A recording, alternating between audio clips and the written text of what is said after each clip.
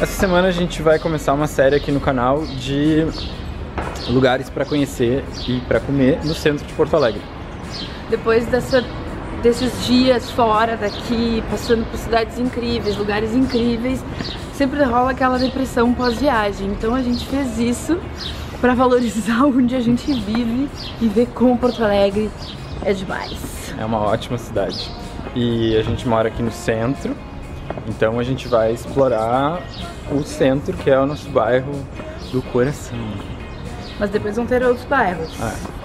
Então, para quem mora em Porto Alegre e não conhece tanto o centro ou esses lugares, vai ser bem legal.